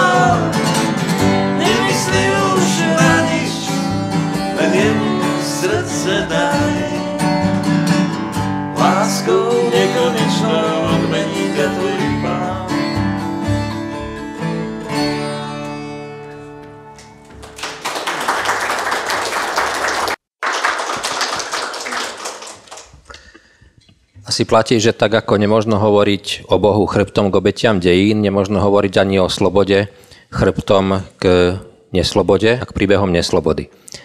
Mnohé sme povedali, mnohé sme videli a počuli. Nech sa páči, ak máte nejaké otázky na hosti, môžeme teraz spoločne pokračovať ešte nejaký krátky čas v diskusii. Nech sa páči. Nech sa páči. Veľmi dobre ste vystihli tú situáciu, ako sa ako vníma mladá generácia, teda nastupujúca po nás, lebo my tu nebudeme väčšine jak Lenin, ktorý väčšine žije, a to je pravda. Len nevieme, kde býva.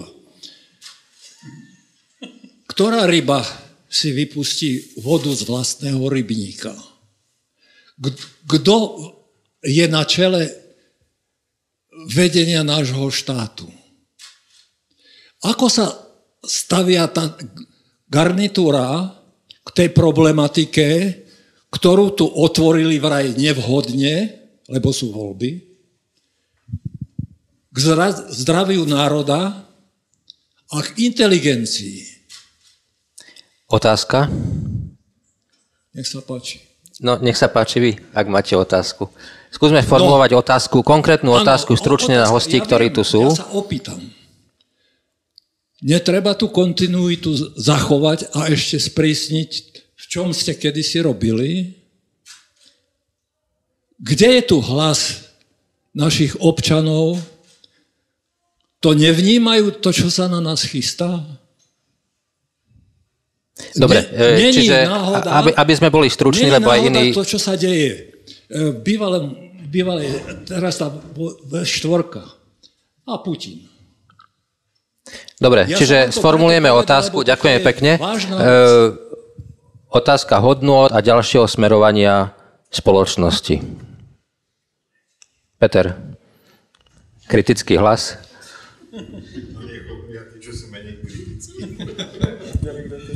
Neviem, kto by tu bol taký. No to je ťažká otázka.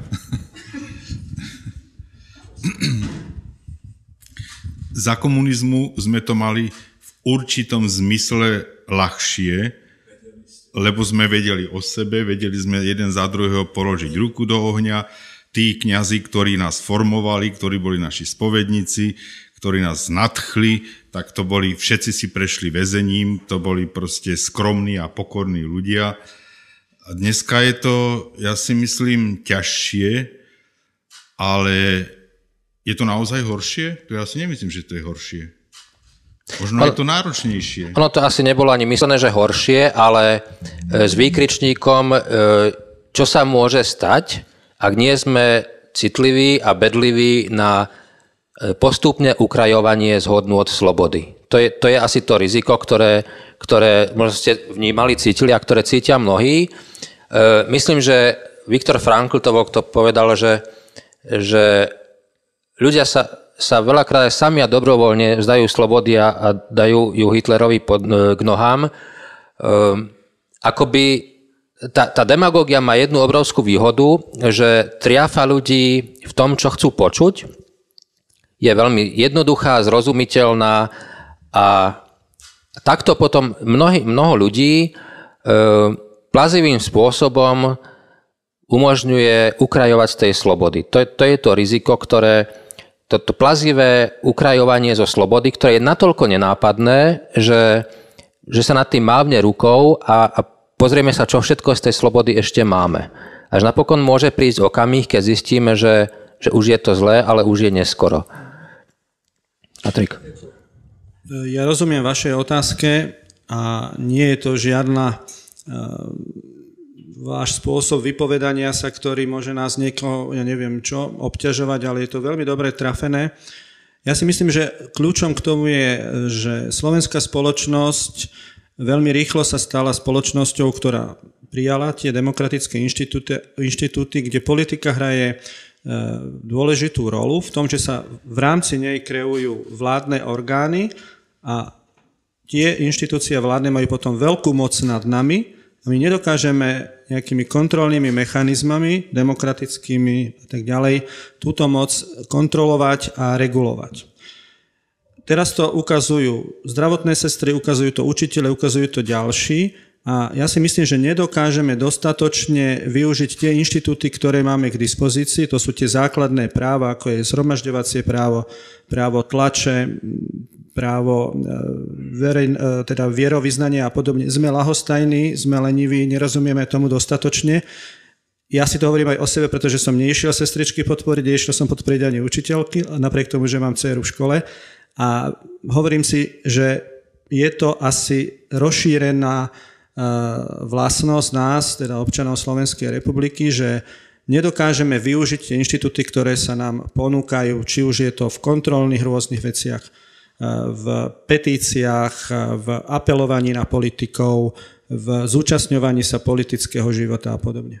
Ty si e, pred chvíľou spomenul dôležitú, dôležitú váhu alebo dôležitý faktor pravdy. Mhm. Že tá sloboda je dôležitá, ale rovnako, minimálne rovnako dôležitá je tá pravda, ktorá my vieme a sme sa to naučili, že nás má oslobodiť, ale z tej pravdy máme veľakrát väčší strach než odvahu k tomu, aby nás oslobodila.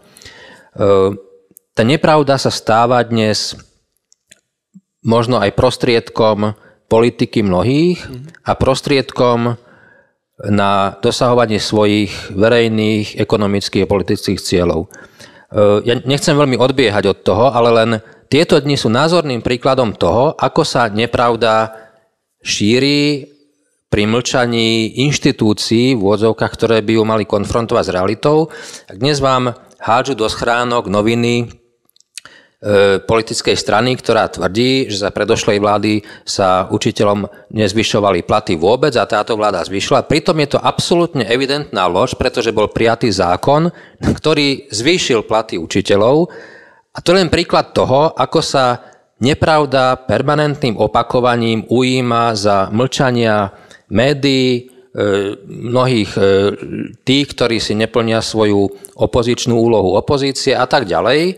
Čiže mnohé segmenty, ktoré by mali nastavovať zrkadlo pravde, už sú unavené, alebo koketujú s nejakou svojou inou perspektívou, alebo sú kúpené a tak ďalej. Teraz nechcem zachádzať do detajlov.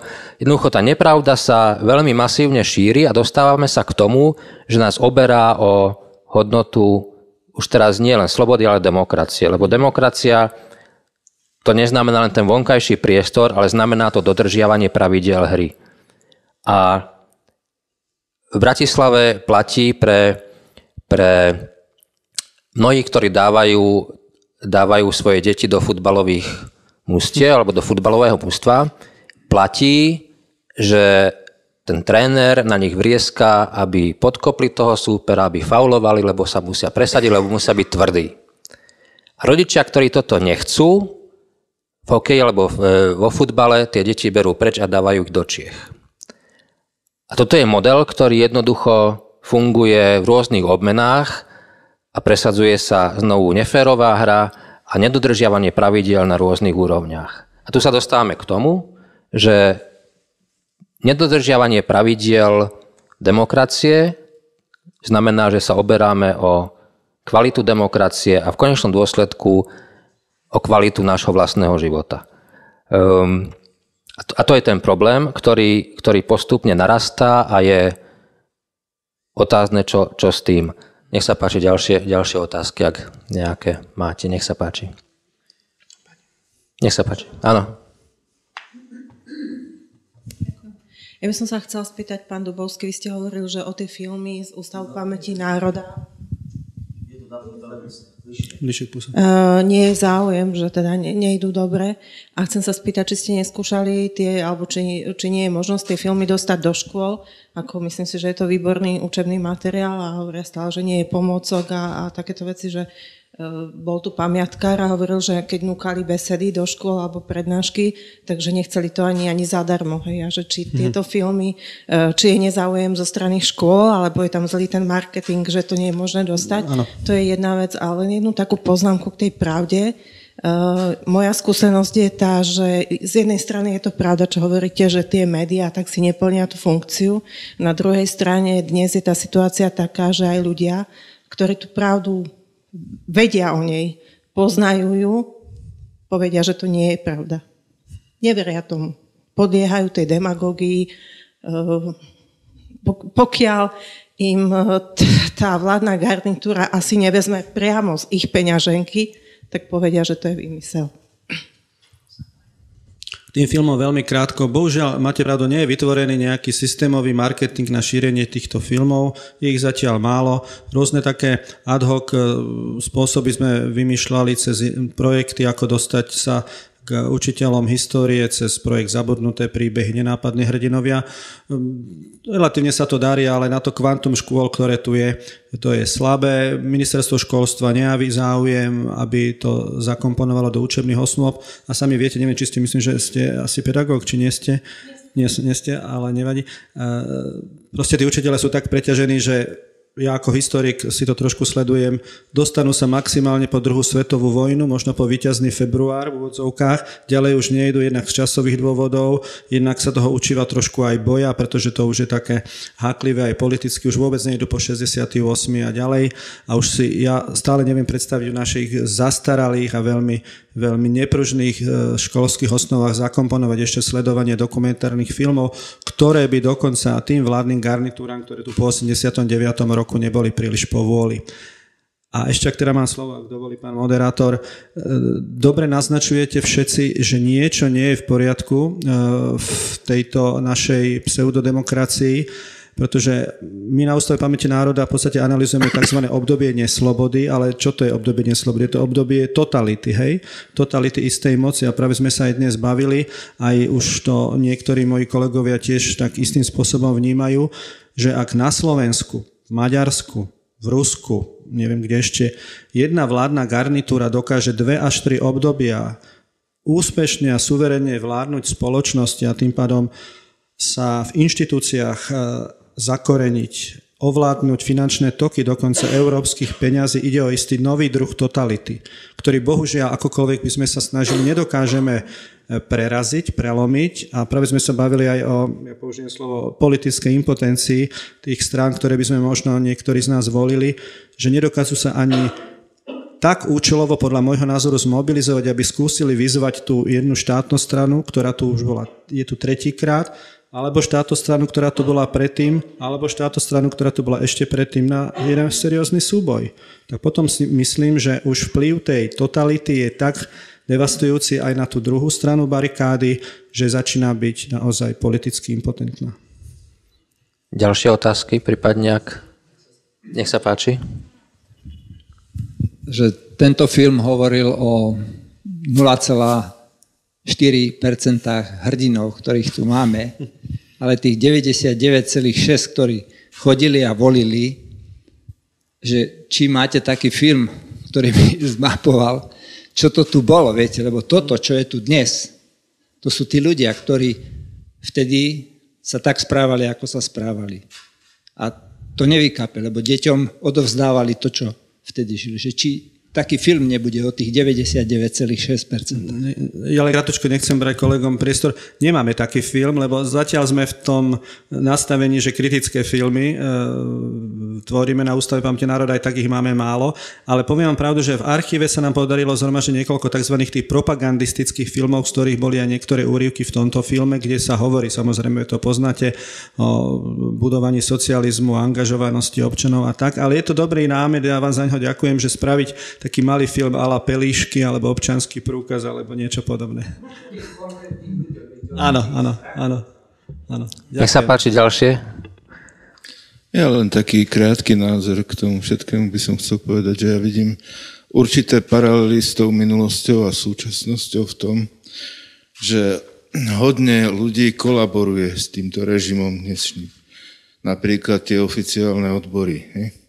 Tak ako kolaborovali rôzni ľudia, tá pomocná stráž verejnej bezpečnosti, spolupracovníci EŠTB a podobne, donášači, tak kolaborujú aj dnes. Ďalšie nech sa páči, ak sú ešte nejaké otázky, nech sa páči vzadu.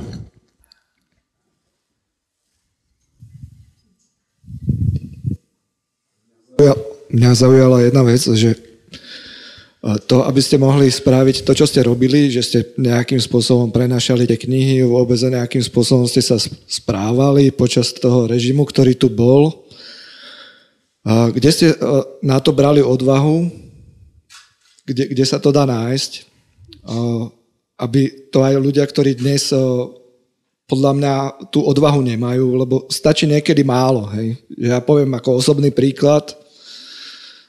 Dostal som za úlohu pre kandidáta Smeru spraviť propagačný materiál. Povedal som, že nie. Že pre človeka, ktorý je za takúto stranu, to robiť nebudem mohol som za to dostať, že odchod, hej, že alebo zníženie platu, alebo neviem čo. A proste jediné, čo sa mi stalo, že robil to niekto iný, hej. Ale vlastne nestalo sa nič. Hej. Že, že, či nie je náhodou toto aj ako, no ja to poviem tak po slovensky, že naša predposratosť. Hej, že do, dopredu si poviem, že no niečo strašné sa mi stane, ale nestane sa nič.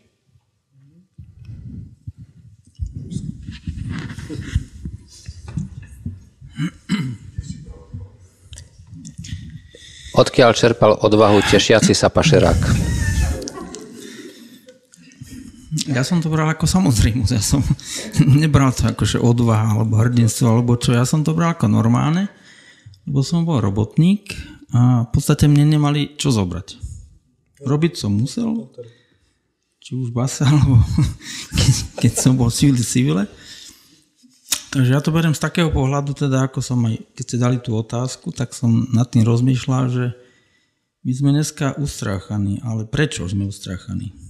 Ja si dávam sám sebe otázku. Ja som není ustráchaný, len z jedného dôvodu, že ako tu Peter povedal, že on ako v demokracii, keď žije teda vo Viedni, a nám tu porozpráva, že to vníma tak a pozerá sa na náš systém, čo je tu na, Tiež to nepokladám za demokratický systém, je to taký ustráchaný systém a nechcem do politiky zachádzať, ale to je to, jak sa tu spomínalo viackrát, že prvom rade, keď človek e, hľadá pravdu a hovorí pravdu, tak tým pádom má aj tú slobodu.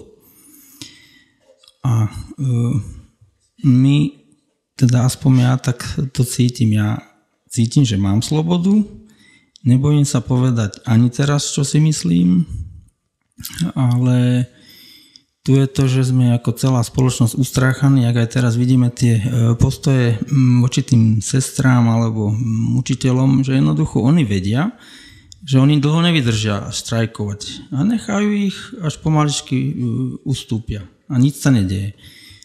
A e, vidím teraz ten problém, že Volá, kedy sme vedeli, čo je všetko, ako všetko bolo jasné. Toto som mohol, toto som ne, nemohol robiť za bývalého režimu, ale e, dneska neviem, čo môžem, čo nemôžem.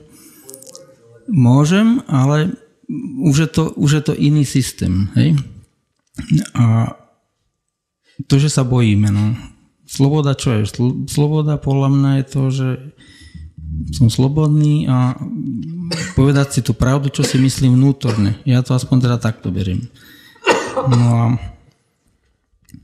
no, za mňa sa pravda za, laž, za klamstvo a jak tu bolo spomínané, stále nás masírujú niečím, až nakoniec tomu podlahneme a uveríme.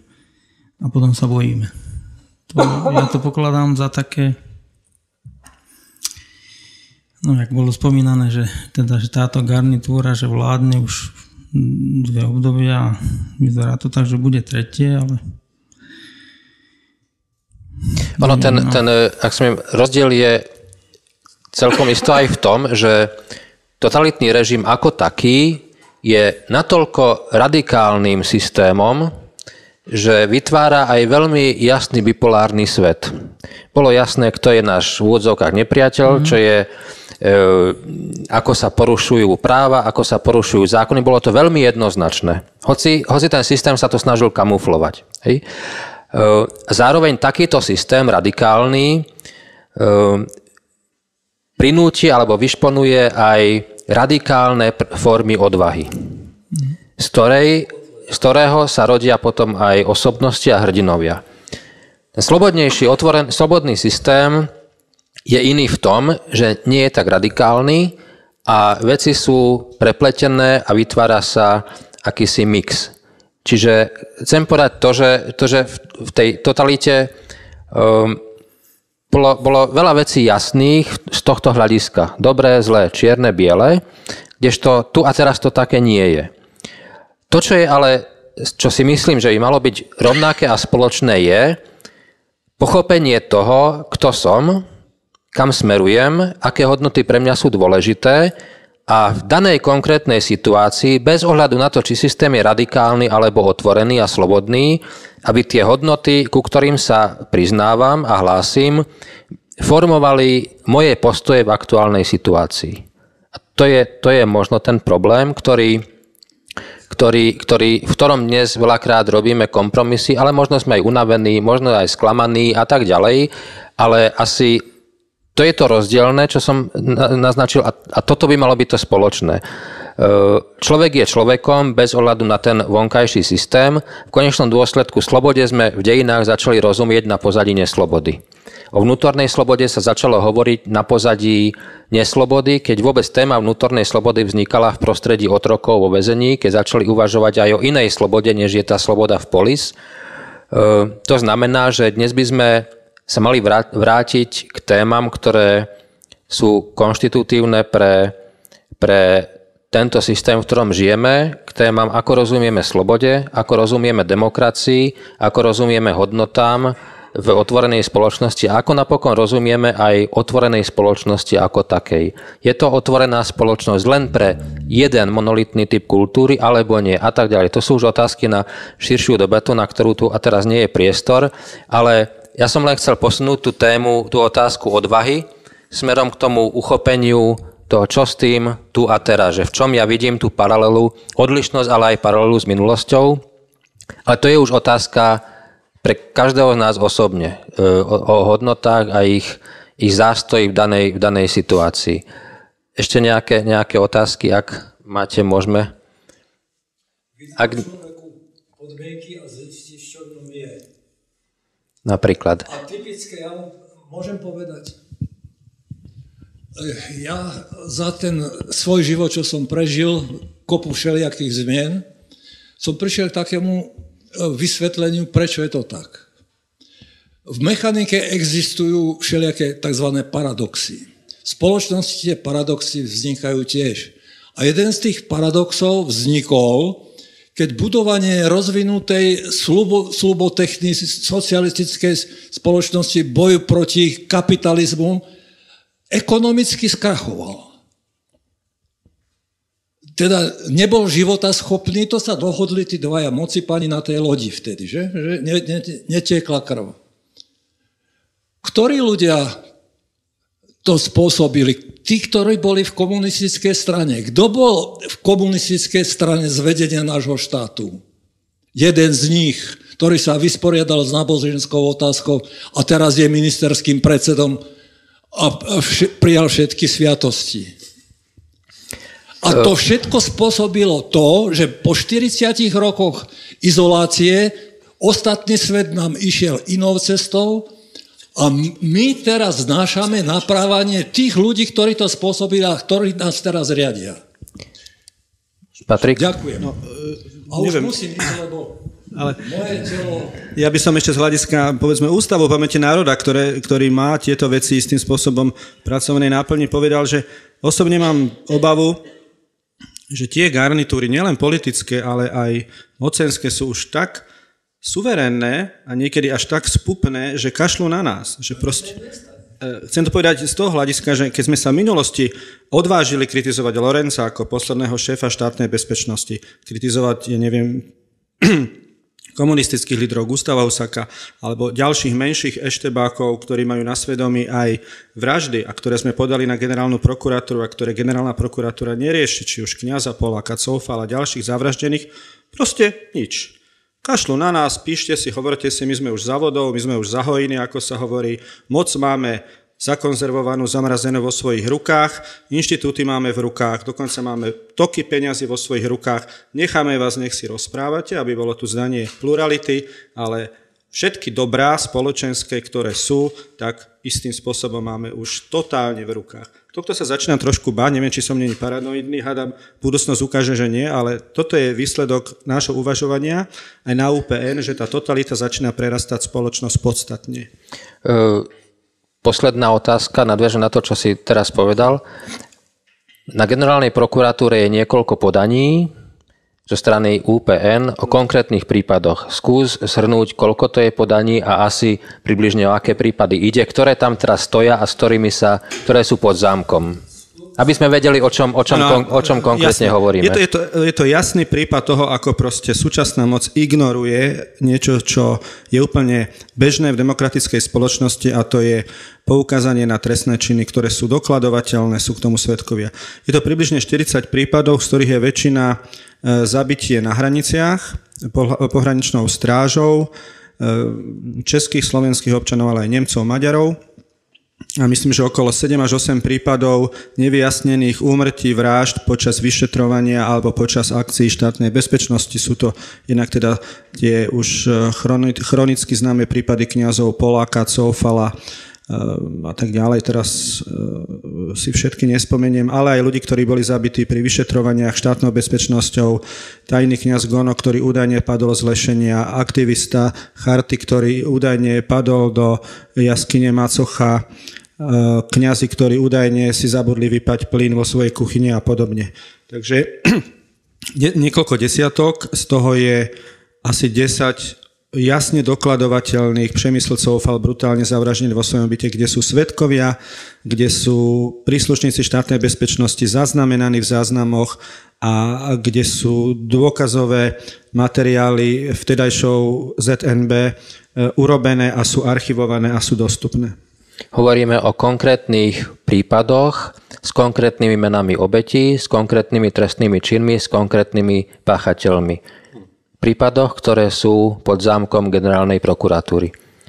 Hovoríme o prípadoch, ktoré poukazujú, prečo sa mnohí vo verejnom politickom priestore predčasom bránili za každú cenu zmeniť vedenie generálnej prokuratúry, respektíve dosadiť tam svojich ľudí. Ďakujeme pekne, že ste prišli. Ďakujeme za to, čo ste robili v minulosti a za to, že ste si našli čas a želám vám všetkým príjemný zvyšok dnešného večera.